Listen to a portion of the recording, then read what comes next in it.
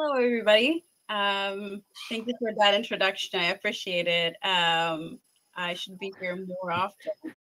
My name is Carmen Adame. I am a product marketing manager here at Precisely um, and very focused on location intelligence and uh, geo addressing. Um, Colin? Hi, everybody. I'm Colin Mattison. I'm a solution engineering manager here at Precisely, also very focused on all things location intelligence, geo addressing, and enrichment. Nice to speak with you all. So, uh, let me get things started. Um, one of the things that, um, you know, sometimes we forget is that in reality, working with addresses is really hard. Addresses are actually very complex. Um, in the US, addresses have 13 different attributes. This really expands when we start looking at the globe and how different countries um, really um, attribute their addresses. We're looking at hundreds, about 300 different attributes for an address uh, around the world. And, you know, there are all of these ideas that addresses are unique, which they're not. Um, sometimes addresses haven't been totally validated. Um, sometimes uh, an address doesn't exist in a map. It doesn't um, have a, it's not a deliverable location. Um, sometimes it hasn't been geocoded. Sometimes a business has multiple addresses. So there's all of these things that really are complex about an address. And so we need addresses in our lives. And, um, you know, they are extremely important to the work that we do every day and how we relate to just everything around us, right? Between getting the mail, getting parcels delivered, getting services to our places, being able to understand, you know, where in a map we might be located. And so this is the complexity that addresses really present to us. And at Precisely, we have gotten extremely good. Um, you know, Alex called Mike the Michael Jordan of addresses, but in reality, it's because we have done the work and put in the effort of understanding the nuances and the complexities that addresses bring to our daily lives and how we relate to them and how we can bring them into our systems and then into our businesses to make our life um, you know much easier. So i'm going to now let colin tell us a little bit about what geo addressing is and why we consider geo addressing important. Thank you carmen. Uh, let me jump ahead. So yeah, inputting addresses into uh, operation is not only a core competency of our organization, it's also an area where we're a global leader. And we call it geo addressing, and I'll kind of break down what that means. So, our geo addressing and data enrichment solutions enable organizations of all sizes to increase the use of address data and quickly associate rich, relevant contextual information. So, geo addressing consolidates the capabilities from our world class geocoding and address verification into a single solution. And the results are faster, more confident decision making, preventing bad addresses from coming into your system, which Mike's going to touch on a little bit later. Um, address verification, the first the first uh, icon you can see there is the process of confirming the accuracy of postal information, parsing, standardizing, normalizing, and verifying the address elements. Uh, and that's ca- a capability globally. Um, what is a mailable location, you might be asking? So the Postal Authority does not deliver to every physical location, and so that's where things, geocoding comes in. Um, you know, there, there may be a shared delivery box if you live in a neighborhood where you know you've seen those boxes with 20 or 50 or 100, um, uh, you know, uh, mailboxes. Um, you know, th- those are situations. There's also rural areas where uh, the mail gets delivered to the street, you know, the highway, um, and people have to drive down 5, 10, 20 miles to get their mail. Um, and that kind of takes us to the next capability, which is geocoding. And that is the process of transforming location information, like an address, into location coordinates. And also the capability to do that in reverse, which would be called reverse geocoding. Um, so that's the uh, physical location, finding the physical, loca- physical location of the address. And it's important to note that not all addresses actually have a physical location. Um, some exist only for um, mailing purposes or for getting things across. Uh, an example I like to give when I was stationed in Germany in the you know U.S. military, I had an APO AE zip code, which looks like a New York zip code, but that was you know to get me letters from my parents, care gifts over to Germany. Um, The next example, uh, the next kind of component is the address autocomplete. This has a lot of different names. You may have heard of it called type ahead. That's a kind of a common or a older version of it. There's interactive, predict, um, autocomplete, geocomplete. What these all fundamentally are is they perform a search as you're typing in keystrokes and they retrieve a list of places by the input text um, uh, and the location vicinity. So address autocomplete takes in freeform text and provides back relevant uh, suggestions. So with that, I'll jump ahead to the next slide and we'll take a look at some examples. So here we can see verifying addresses in more than 250 countries and territories. Uh, the way this is done is using some sophisticated matching algorithms to pull the most accurate address verification across countries, language sets, and character sets. You know, there's a lot of nuances as you go, you know, expand this globally. Uh, addresses are verified per delivery requirements according to the specified country, and we follow the United, the, sorry, the Universal Postal Union's um, standardization, so the UPU, to ensure that that uh, you know those meet the needs of every country that we work with.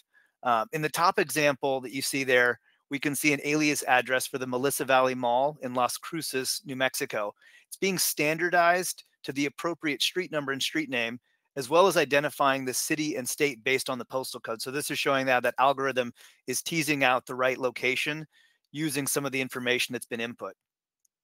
In the example on the bottom right hand side, you can see uh, an even better version of this where there's very little information that's given. It's uh, 1, 100, number one at 10025. And we're able to you know process that, tease that out, and identify the city and state as well as the um, the city and state as well as the street in New York, being able to standardize that and make that a useful piece of information. So this gives you some examples. You know, real world people are typing things in you know much of the time uh, they type things in that don't look like addresses that's where the software comes in to really um, you know help clean that up. The next uh, let me jump to the next one. Um, geocoding is a two-step process and the first step is really interpreting an input address and matching it to an address in a reference data set and so the robustness and the comprehensiveness of that reference data set is really important. The second step is converting that address into a location on Earth in the form of latitude and longitude. For some use cases, getting to the right city or postal code um, is sufficient. It's the positional accuracy is not really important if you're just trying to get a general sense of an area. However, when the use case is insuring million dollar homes, knowing how close that house is to a river for flooding risk or to a forest for wildfire risk is really critical. So, you know, being close isn't close enough.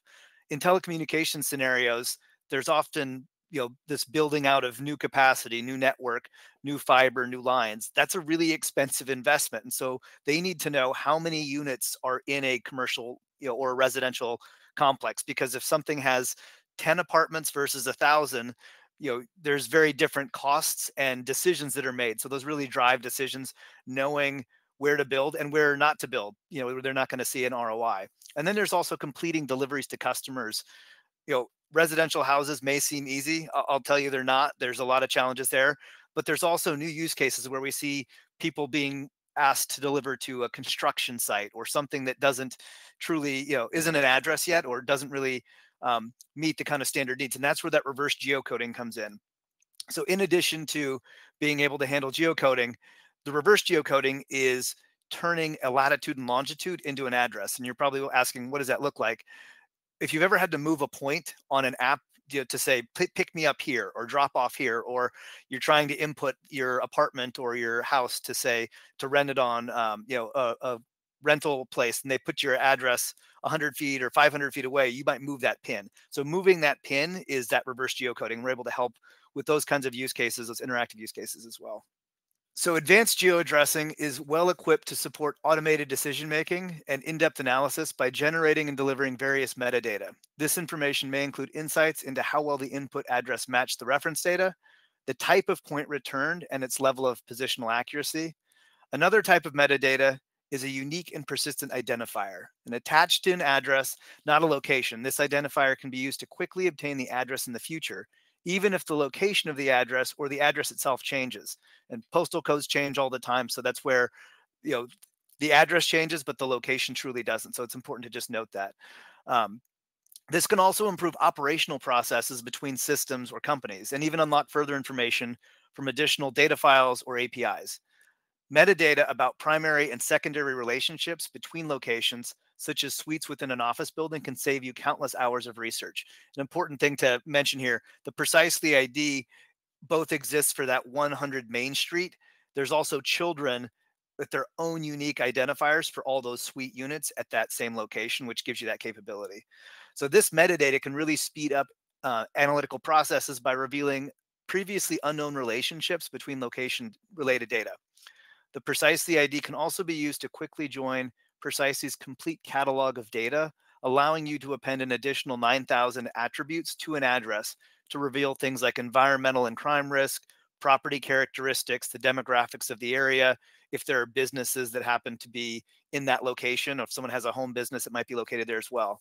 Uh, additionally, many clients run their other third-party data sets and their own first-party data sets through the geo-addressing service to simplify joining their address-based data using that key. It really unlocks a lot of additional value when you're trying to do analytics, um, any sort of machine learning modeling you need clean data and you need it all to be linked up and this gives that capability to take and add additional value to all the other data that you're already potentially leveraging and licensing uh, in addition to metadata i wanted to hit on two other key factors to investigate as you do look at new geo addressing solutions the first of those is going to be throughput of the solution how many records per unit of time need to be run for analytical use cases, you could probably run a batch overnight and that would be fine. But if you're trying to make sure someone can quickly check out or order food or order, you know, um, you know, clothes off of a, a website, you want to make that experience really fast. So in those cases, you want to really understand: Do I need real time? Do I need sub-second processing?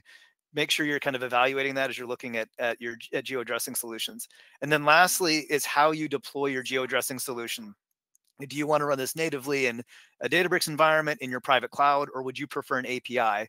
Make sure you kind of understand if there's flexibility in how you deploy that. So then lastly, we wanted to touch on the address autocomplete. And this allows you to put governance and quality practices in place to prevent bad addresses from entering your ecosystem. I'm human and I make typing mistakes all the time. So are your customers and users. A tailored experience is important for several to several of your other business needs. More relevant address suggestions empower confidence in your decisions.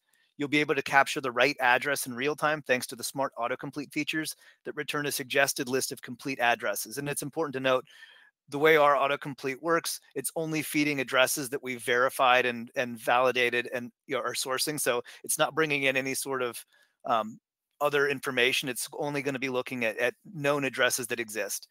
And this capability, you know, is really powerful because it with which is partial keystrokes, it fills in the rest of the address so that people are able to get a correct location immediately. And this is really important for local search, for checkout, for shipping, for billing. Uh, I didn't mention tax, also making sure that you're charging the right tax and paying the right tax to the local authorities. Having the right address is really important for that. So, a complete geo addressing solution ensures that your organization is capturing high quality address and location information about your customer, which streamlines and automates business processes. This leads to more deliveries of products and services arriving on time the first time. It ensures you're collecting the right taxes, and it allows you to scale to allow you to quickly move your offerings, expand your offerings to new markets. And then using a unique and persistent address ID makes your first and third party data easily linkable, driving incremental value and opening additional use cases and an analysis for your operations. Um, with that, I'll pass it back. I believe I'm passing it back to you, Carmen. Yes. I was taking a look at one of the polls that came out, and it was talking about if you've heard about Precisely and who Precisely is. Um, so let me answer that question. At Precisely, we are the leaders of data integrity we understand really that data is the number one factor that we care about. In this case, we're talking about addressing and addressing data and all of that data that gets connected to that type of address. And our unique combination of software data and our strategic services helps ensure that we are delivering trusted data to our to our customers. Um, we want to ensure that the data is accurate, that it is consistent, and that it is contextual, meaning that it's going to be relevant to them and it's going to help them answer those business questions that they have. Um, we have decades of domain expertise. I know that the name of Precisely might be relatively new, uh, but we have been in the industry for um, close to 70 years. We have 12,000 12, customers worldwide. We have 99 of those Fortune 100s, and we have over 2,500 employees across the across the world. Um, we are focused on data integrity and the journey of data integrity. I know that uh, Colin right now mentioned, you know, being able to bring in data, connecting it with your systems like Snowflake, creating things like data governance and putting rules in place to ensure that your address is correct. And that data journey really is complex. Everybody's starting in a different place and everybody has different needs. And so, whether you're generating the data or integrating the data all the way to being able to analyzing and monitoring that data, we try to partner with you um, and ensuring that you know you have everything that you need to manage your data integrity and that is a that that journey isn't really going to end right you you manage something you fix something and then you have to move into managing fixing something else or ensuring that you have all of the pieces in place to make accurate business decisions and so that is what precisely is focused in and that is what we do and we work with many of the world's most trusted brands. So, in different sectors throughout uh, financial services or manufacturing. So, you know, if you look at some of the brands here, I am pretty sure that you recognize them all over the world. Um, our data and our services and our strategic services and our software is used um, really, you know, to manage most of the data that is passing throughout like all of our all of the systems that you interact with and so we're really proud of that um, you know we have the expertise and uh, the knowledge and the people that are truly going to help you understand um, your addressing and provide you with addressing solutions that are going to be impactful for you and your business.